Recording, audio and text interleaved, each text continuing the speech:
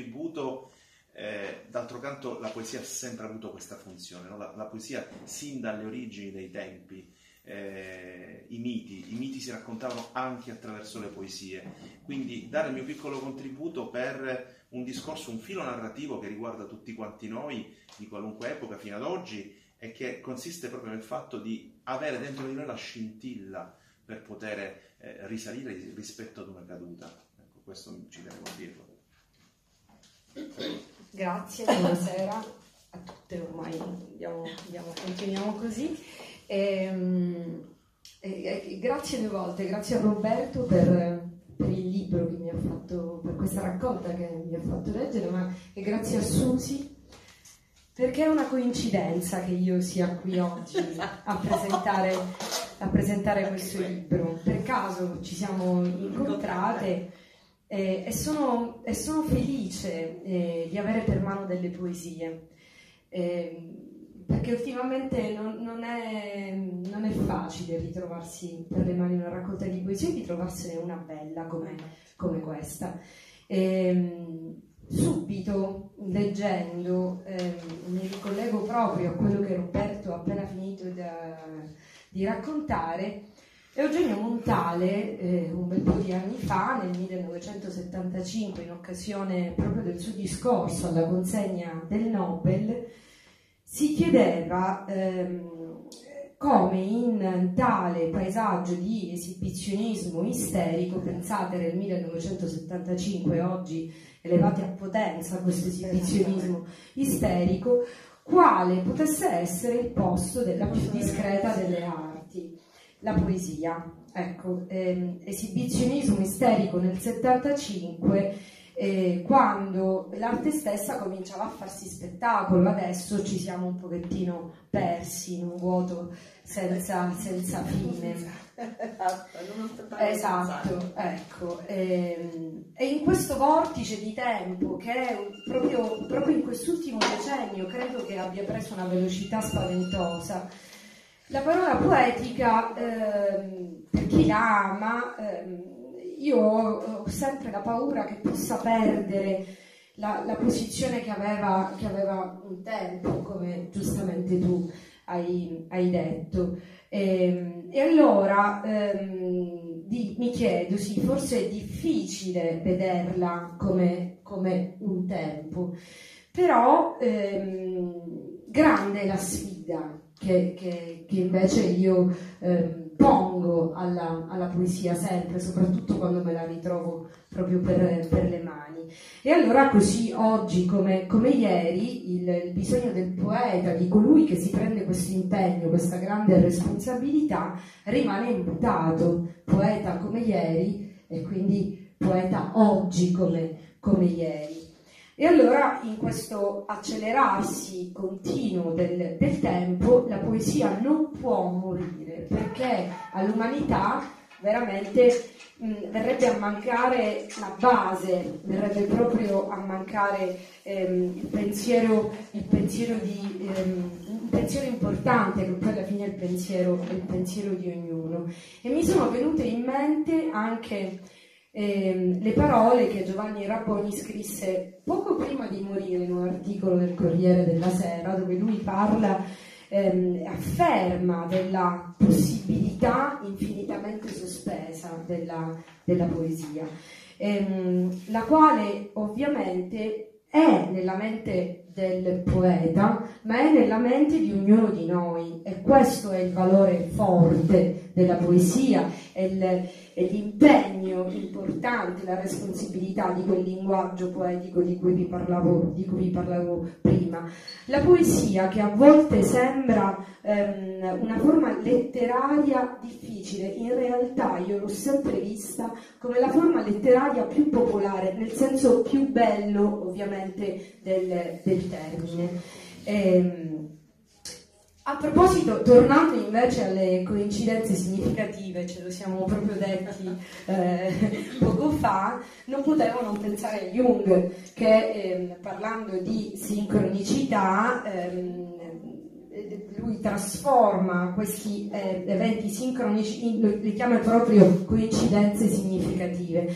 Ma la cosa bella che Jung tira fuori, ovviamente per quello che a lui compete, è ehm, il fatto che ognuno di noi, eh, tra l'altro lui lo fa citando addirittura Alice il Paese delle Meraviglie, dice che insomma è stupido pensare che la nostra memoria ehm, finisca nei ricordi, quelli proprio brevi, in quello che ci succede durante la vita. In realtà la nostra memoria è un bagaglio talmente grande, importante, che conserva in sé degli archetipi che poi sono quelli eh, che trasformano le coincidenze non in banalità ma in coincidenze significative.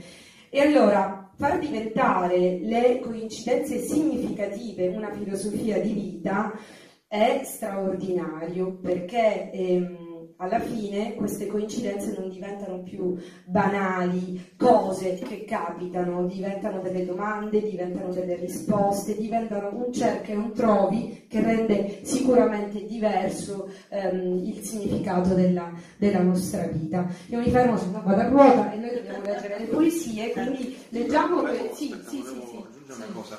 Ehm, eh, Jung infatti sosteneva che eh, quelle che noi chiamiamo casualità, eh, appunto, eh, non sono affatto delle casualità. Cioè il fatto che noi oggi siamo qui eh, insieme in questa stanza non è un, una casualità. Il fatto che noi viviamo determinate esperienze nella nostra vita, quando noi talvolta diciamo ma tutte a me capitano, sì, perché sei tu che fai in modo che capitino tutte a te non è una, un, il fatto, il fatto non, non, non, esiste in queste cose, il fatto non esiste, non esiste sicuramente in queste cose. E, e quindi rendersi conto che tutto ciò che noi viviamo e che facciamo è preparatorio di qualcosa che verrà dopo.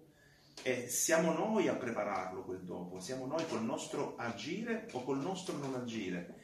In questo caso, quindi, in questo senso, quindi non, è, non, non, si può parlare di casualità, ma di coincidenza che appunto diventa significativa e quindi è una sincronicità, non è più, esatto. eh, in realtà non è neanche una coincidenza, no? Non è neanche una coincidenza. Loro due che si incontrano per la strada, e lei che le propone eh, di ehm, eh, presentare questo libro, di leggere le poesie, è un'energia che in qualche modo si è messa in moto Possiamo anche pensare, ah vabbè, ma è assurdo. No, non è assurdo, perché è così, è davvero così. E quindi anche questo mh, mm, fatto della, quello che dicevi prima della, della, della poesia che è vista eh, come qualcosa oggi, forse più che mai eh, rispetto al passato, come qualcosa di avulso, di lontano dalla modernità, dalla modernità velo- veloce, frenetica, eh, anglofona, quindi con spesso con parole molto eh, mozzate, tagliate come smart, fast eh, e noi pensiamo per esempio a, nel nostro immaginario ci viene la, la poesia, quella di Leo, la poesia intesa come poetica, di Leopardi o di un altro autore del passato e certe volte anche a me come insegnante viene difficile riuscire, non è facile riuscire a, a, a far innamorare della parola di Leopardi o della parola di Dante un alunno che la mattina prima di entrare in classe ha già spento, o forse anche no, lo smartphone, il tablet eh, e che naviga a byte molto, per rimanere in tema, molto superiori ai miei. E quindi come fai? Lo fai nella maniera più semplice. Eh, dandoti e dando loro la possibilità di comprendere che la poesia non è qualcosa che sta nell'Olimpo della letteratura e che è soltanto per coloro che sanno ben scrivere, che conoscono un lessico particolare, eh, per, per, gente ehm, che ha anche forse un'aura un po' si sente superiore. No, non è nulla di tutto ciò. La poesia è qualcosa che riguarda tutti quanti noi.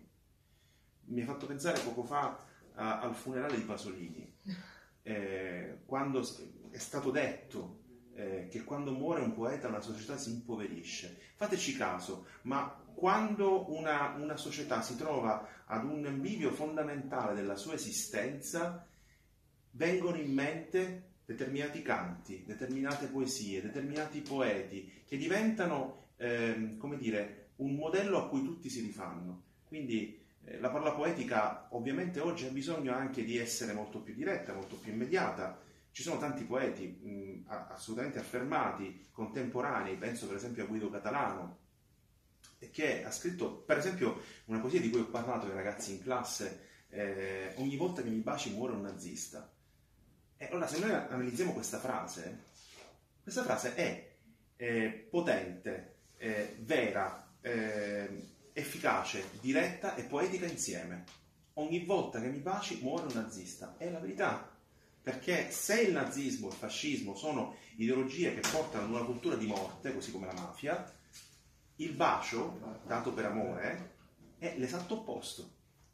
Quindi è poesia allo stato puro, è pure efficacissima, gli arriva, gli arriva subito. Quindi si può fare poesia anche oggi. Visto che, che parliamo di, di, poeti, prima di leggere le coincidenze significative di cui appunto tanto stiamo parlando, credo che questa possa riassumere un po' come dire, il, il ruolo del poeta. Scusi, secondo me si sente meglio senza. Senza, io sono d'accordissimo sì, sì, con te. Io odio qualsiasi forma di Prendiamo. Ok. Allora, uno sguardo d'abisso. Ho sentito parole mute, taglienti più di una lama, pesanti più di una pietra. Nel profondo dell'anima non ho scorto che la sbiadita ombra delle parole. Ma i poeti sono affamati di, lo- di notte e luna, e quando il tempo sembra fermarsi, quando l'agire umano dorme, il poeta vigile canta la vita. Ecco, credo che così si è fatto proprio un. Poi in questa... Um, è stato bellissimo anche parlare con Susi per, insomma, ah, perché ci siamo ritrovate in tante abbiamo scelto le stesse sì, poesie. ci siamo ritrovate abbiamo... in, in, tanti rimandi e in, tante, e in, tanti pensieri. Però visto che abbiamo parlato di coincidenze significative leggiamo, leggiamo prima questa e poi insomma anche le altre che che ci sono piaciute visto che non le possiamo leggere tutte, giusto? Non si fa se non Penso che staremo qui a lungo. Le coincidenze significative. Sei quel che sei e devi esserlo. È questo che mi piace di te. Quel che sei. Come ci si può stancare di te? Io no. Forse stasera ti posso chiamare. Voglio capire se hai cura di te Mandami un bacio, mi piace baciarti, lo sai. Sono felice che ti prendi cura di te, perché ti voglio bene. Fa freddissimo. Quest'anno il freddo mi è entrato fin dentro l'anima.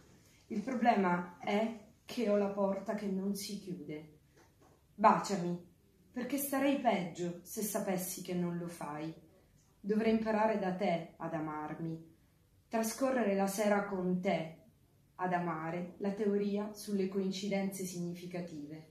Intanto respiro e il cuore continua a fare quel battito in più che sento, fino alla gola.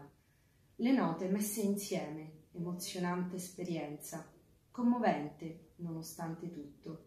Se non fosse reale, non farebbe così male. Devo darti la buonanotte, ma resto con te stanotte.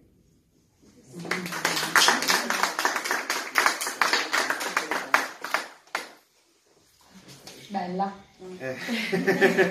Hai fatto emozionare il poeta. Non so, eh, sì. Tra l'altro... Ovviamente parliamo di coincidenze, ma qua dentro c'è tanto amore, eh, c'è tantissimo amore, sì. quindi ecco sì. poi che le, le coincidenze si, si, trasformano, vengono un pochettino a um, scavarci eh, e a scavare. Mh, ogni volta che noi leggiamo anche, anche, chi la scrive, non soltanto chi la legge. Eh, a parte quello, ehm, tra l'altro, la, proprio per, per, la poesia in particolare, eh, è difficile, cioè, sarebbe meglio uscire dalle categorie bella, brutta, perché eh, la poesia è un, un, qualcosa di molto soggettivo. Sì. A me può dare un'emozione, a lei ne può dare un'altra, a lei un'altra ancora, potremmo andare all'infinito. Eh, ognuno di noi ci vede qualcosa dentro che ha a che fare con la sua propria sensibilità, col suo proprio vissuto E per esempio adesso mh, mi, ha col- mi ha colpito, mh, ho focalizzato l'attenzione sulla parola cura, no? Sulla parola cura. E guarda, coincidenza, chi c'è Che. No, io, io ho, ho fatto quelle, quella, mm, quel- quel- proprio mi sono in- impegnata a fare notare questa parola perché mi sono sentita un po' osservata dal mio caro Franco. Un po' pensieroso. Però Esatto, così. Eh, la cura, eh, la cura e l'attenzione aggiungerei.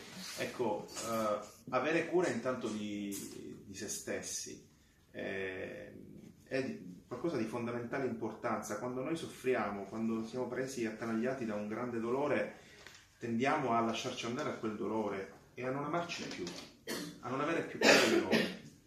Eh, e invece non ci rendiamo conto un po' l'importanza che ha amarsi, avere cura di se stessi, per poi avere cura e attenzione verso gli altri, perché l'attenzione è qualcosa di veramente fondamentale, eh, che spesso appunto per distrazione eh, non, eh, non teniamo in considerazione. Io mh, anche in questo caso c'è molto di me anche come, ehm, come insegnante in, eh, in questi scritti. Eh, quando dialogo con i miei alunni dico sempre loro, faccio, faccio questo esempio, eh, dovete cercare di eh, impegnarvi nell'amarvi, nell'avere cura di voi, eh, perché se prima non state bene voi non potete far stare bene gli altri che stanno attorno a voi. E, e porto sempre l'esempio, un esempio molto banale, ma davvero di una banalità estrema, però secondo me efficace. Quando siamo seduti sull'aereo e l'aereo sta per decollare e eh, l'assistente di volo ci spiega cosa dobbiamo fare per prendere il, salvagente e poi dice nel caso in cui dovesse uscire la maschera d'ossigeno, indossatela prima voi e aiutate poi chi vi sta accanto. Perché?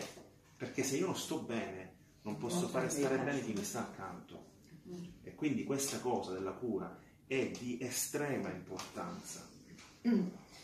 Mm, Poco fa, mentre mm, leggevo uno sguardo d'abisso, mi, è venuto- mi sono venute in mente le cose che ci siamo dette con Susi a proposito dei, dei temi, ehm, delle sensazioni, delle immagini che, che poi si ritrovano ovviamente nel, ehm, un po' leggendo nelle, nelle altre poesie. E ehm, proprio nel primo